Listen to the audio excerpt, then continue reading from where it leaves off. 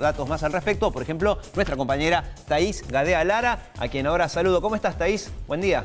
Hola, Diego, ¿cómo estás? Así es, sobre todo porque eh, esos dos lugares que vos mencionaste eran lo que más veníamos siguiendo, ¿no? Durante los últimos meses, principalmente lo que ocurría en el Delta del Paraná. Pero según el último reporte que se dio a conocer el viernes, como decías, nueve eran las provincias en territorio argentino afectadas por incendios, algunas con focos activos, otras con focos contenidos o controlados. Según el reporte del viernes, en Córdoba, por, eh, por ejemplo, los focos ya estaban contenidos. Eso no significa, digamos, el cese total, pero sí, ¿no? Que la situación por lo menos estaba más controlada, pero donde sí continuaban eran en el delta del Paraná. Y la noticia que se dio a conocer el sábado por publicación del boletín oficial es que el Sistema Federal de Manejo del Fuego vuelve a la órbita del Ministerio de Ambiente y Desarrollo Sostenible. Vos sabés que en el gobierno anterior se había pasado al eh, Ministerio de, Seguridad, así que ahora va a estar bajo el Ministerio de Ambiente nuevamente. Y por eso es también que tenemos una conversación telefónica con el ministro de Ambiente y Desarrollo Sostenible, Juan Cabandier, para que nos actualice ¿no? en la situación sobre los incendios en Argentina. Está no sé si Juan nos, nos, escucha, ministro? ¿Cómo está? Buen día. Estoy escuchando, ¿qué tal? Muy bien, muy bien. Ahí, bueno, Taís Gadealara nos estaba haciendo un, repaso, un raconto de, la situación. A mí me sorprendió, claro, en su momento cuando el sistema de, combate contra los incendios había pasado al Ministerio de Seguridad. Sonaba una decisión bastante extraña durante el macrismo. Ahora volvemos a, que dependa del Ministerio de, de Ambiente. Suena lógico, pero en la práctica, ¿qué significa esto? ¿En qué los puede ayudar? Hola. ¿Me escucha, ministro? Sí, sí. Eh, la pregunta, no, no, lo que pasa es que no escuché la introducción. No, no hay problema. No, estás ah, preguntando qué implica que el, que el Sistema Federal de Manejo del Fuego esté en la órbita de ambiente. Claro, que vuelva a ambiente, que decíamos, suena lógico, pero, pero en la práctica, ¿en qué los ayuda? A ver, eh, el área estaba dividida porque el, SAT, el sistema de alerta temprana, estaba en la órbita de ambiente, pero eh, la gestión, el manejo del sistema federal del fuego estaba en, la órbita de seguridad. Ahora, al unificar todo el Ministerio de Medio Ambiente, bueno, es, no solamente es más práctico, sino que también eh, Ambiente tiene una, mirada, eh, bueno, integral, ¿no? Integral de no solamente el combate al fuego, sino también eh, la prevención. Nosotros, como bien decís, o dijo mm, Taís, el sábado se publicó el decreto, fue firmado el viernes a la noche, y nosotros vamos a instrumentar ahora una, un incremento en, en, la robustez del sistema federal de manejo del fuego, porque estamos bueno ya diseñando una nueva regional en Embalse, Córdoba, para tener en la zona de centro de la Argentina mejor logística y disponibilidad de brigadistas para que se complemente con las provincias.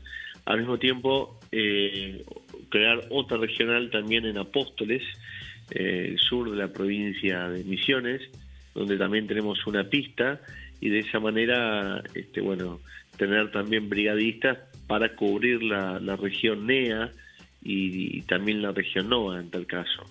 Eh, la verdad que, bueno, que nosotros hemos lamentado que, se haya sucedido, haya sucedido eh, que, el sistema federal haya pasado a seguridad. Eh, digamos, lo hicieron muy bien en este tiempo. en aquel momento, en el 2017, se hizo después de que se pensó que la única solución para los fuegos de la Pampa era rezar. Entonces, sucedió de esa manera ya está. Ministro, en, la, perdón, sí, en la situación de, Córdoba, ¿no? Que fueron los incendios que más llamaron la atención en la última semana. Se sabe que las condiciones de sequía y el viento, ¿no? Intensificaron la propagación, pero ¿se pudo identificar bien quiénes fueron los responsables de iniciar los incendios? Eh, está muy bien lo que apunta Thais. El 95% de los fuegos que se han dado en los últimos días han sido intencionales. En el caso de la provincia de Córdoba hubo 14 días de fuego y la justicia detuvo cuatro personas. Em, así que eso es para, para destacar la, rapidez con la que se actuó. eh, porque ustedes saben que las autoridades de Córdoba no, no tienen el poder de, policía para, este, digamos, este, juzgar o apresar a las personas, las fuerzas de seguridad a partir de la justicia. Lo mismo sucede en el delta del Paraná, en la cuenca del Paraná. Pero la diferencia es que la cuenca del Paraná tiene cuatro meses el fuego y una afectación de humo permanente a los ciudadanos de Rosario, de Galvez, de Baigorria, de San Lorenzo, de Villa Constitución, San Nicolás, San Pedro.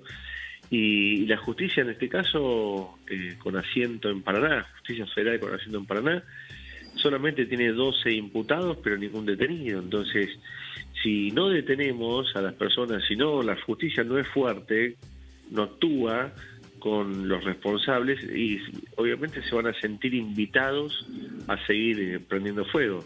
La nación complementa la tarea de las provincias en este caso, pero en el caso del Paraná con un rol protagónico, porque la robustez de los sistemas provinciales del fuego de estas provincias, de, de Entre Ríos y Santa Fe, digamos, no, son eh, considerables como sí sucede en Córdoba. Con lo cual eso también es un llamado eh, para el próximo tiempo a las provincias, ¿no? Para que cada provincia va a tener que, robustecer sus sistemas provinciales de manejo del fuego. La nación complementa y lo hacemos con, digamos, con, mucha responsabilidad, con el envío de aviones, con el envío de helicópteros.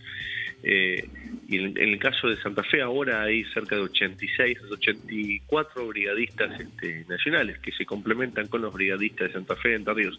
Lo cierto es que en el Delta de Paraná hay que destacar, eh, los fuegos son en Entre y son producidos este, en las islas de Entre Ríos. Entonces, este, la verdad que, bueno, que Santa Fe en ese sentido eh, está también colaborando, pero es un tema de que sucede en la provincia de Entre. Entonces, lo que nosotros venimos pidiendo, pidiendo, eh, pidiendo, Thais, hace mucho tiempo, es que la justicia dé a conocer quiénes son.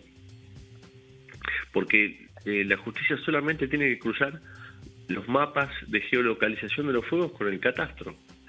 Si cruzan esa información, todos vamos a enterar quiénes son. Ahora, ¿qué hay atrás? ¿Por qué se oculta quiénes son? No lo sé, me gustaría saberlo. La nación no tiene los catastros. Eso es un dominio provincial. ¿Quiénes son las personas? Bueno, entonces, evidentemente este, hay algo oculto que, todavía no podemos dilucidar, pero lo cierto es que nosotros apagamos los fuegos y a los tres días vuelven a encenderlos. Y no se encienden. Claro, y, y, usted mencionó en muchas oportunidades la necesidad de hacer algunos cambios en la ley ¿no? de bosques que, que está vigente. Por un lado, en relación con eso, o sea, dos preguntas por un lado, si cree que esos cambios en la ley de bosques pueden ayudar en la prevención de incendios y en segundo lugar, ¿qué cambios concretos considera que hay que hacer a la ley de bosques? Sí, pero eh, el letra para no es bosque, Thais. No, no, sí, sabemos. Ahí, ahí tiene que ver con la, sanción que todavía no tenemos de ley de humedales, pero en el resto del territorio argentino. Eso, es ley de humedales, eso es ley de humedales. Eh, con lo cual eh, sería muy, muy bueno, muy positivo que rápidamente el Congreso pueda discutir la ley de humedales a ver si logramos una sanción, porque eso evitaría la, digamos, lo que hoy se está viviendo en el delta del Paraná. También es cierto que nosotros propusimos que sea una reserva nacional. Este, fue una propuesta que le hicimos al gobierno de Santa Fe, de Buenos Aires y de Entre Ríos. Eh, bueno, en ese caso Entre Ríos no, no tuvo un visto bueno con respecto a que a crear una reserva nacional. La reserva nacional es como un parque nacional, ¿no? Con otras características, se permite actividad productiva controlada y este, monitoreada y sostenible. Eh, el aprovechamiento solamente puede ser sostenible, pero no tuvimos el, visto bueno de, la provincia de Ríos. Y hay que aclararle también a la gente, porque a veces hay mucha desinformación, que la nación no tiene este, la potestad de decir esto es un parque nacional, tiene que primero pasar por eh, las legislaturas provinciales de cada una de las provincias. Después ir al Congreso Nacional, ahí es una ley. Cabe mencionar también, porque también hay mucha desinformación, este, aunque es, es, raro que exista esto, esta, esta tremenda desinformación, pero los recursos naturales son de las provincias, artículo 124 de la Constitución Nacional. Es decir, este, yo no tengo, eh, la nación no tiene el poder de policía, eh, tampoco tenemos, si nosotros intervenimos en una provincia, lo tenemos que hacer de, la mano de la provincia. e incluso a, requerimiento de la provincia en, el tema de fuego. Pero en este caso no es un problema porque la provincia ha requerido, nosotros estamos hace cuatro meses. Incluso aclarar, eh, el Ministerio de Ambiente, en mi cabeza, el 16 de junio hizo la denuncia penal. Además soy creyente también. Soy creyente en la causa y también he pedido en los últimos días que la justicia llame indagatoria a, a la familia Pasaglia, que tienen 800 hectáreas en el Delta y que tienen incluso responsabilidades políticos, uno es intendente, un Pasaglia es intendente de San Nicolás y el otro es diputado provincial, el otro Pasaglia, y tienen en sus campos se enciende y se prende en fuego. Mm. Eh, por, último, le, quería consultar, ayer en la noche Cancillería dio a conocer vía su cuenta de Twitter que la firma del acuerdo con China para producir localmente carne porcina se retrasa en noviembre porque se incorporó un artículo en el que se buscan respetar leyes de protección ambiental. Quería saber si el Ministerio de Ambiente fue consultado para este artículo o si va a ser consultado de aquí a la firma en noviembre. Son, son reuniones que venimos teniendo. Eh, ustedes saben que existe el, gabinete de exportación y que Ambiente incluye ese gabinete.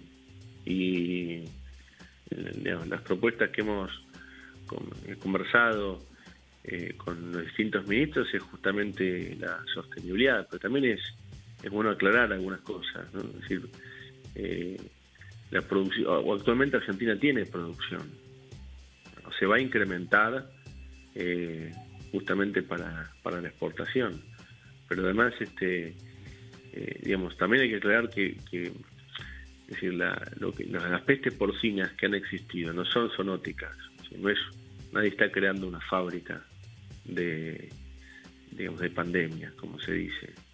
Este, entonces, es bueno aclararlo también, y que además los cerdos son argentinos, eh, pero bueno, eso hay, que, ir evaluándolo de acuerdo eh, a los puntos que se están considerando eh, y que bueno, que también uno que nosotros tenemos que considerar es un ambientalismo con la gente adentro, ¿no?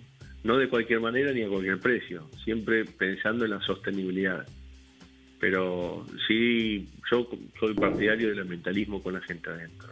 Es decir, donde si yo corto todas las actividades porque son contaminantes, dejo mucha gente sin trabajo. Entonces lo que hay que hacer es una reconversión de métodos productivos y eso, eso es lo que la ciencia, el ambientalismo internacional, también local, llaman transición justa.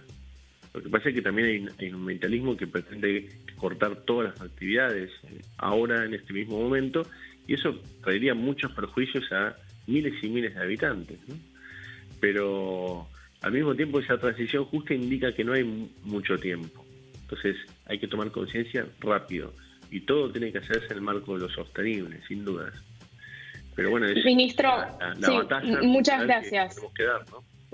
Sí, muchas gracias por, por el tiempo en esta conversación. No, por favor, gracias. Bueno, Thais, eh, yo me quedé con el dato de las 1.200, eh, perdón, 12.000 hectáreas, ¿no? 12.000 hectáreas, estaba sacando cuenta, son 120 kilómetros cuadrados, son seis veces el tamaño de toda la capital federal, así que es un tema que, que por supuesto merece nuestra atención. Gracias, Thais, por tu tiempo, ¿eh? Gracias, Diego. Nosotros ahora vamos a una pausa, enseguida arrancamos con el segundo tiempo de hoy. Nos toca haciendo un repaso de otros temas que también...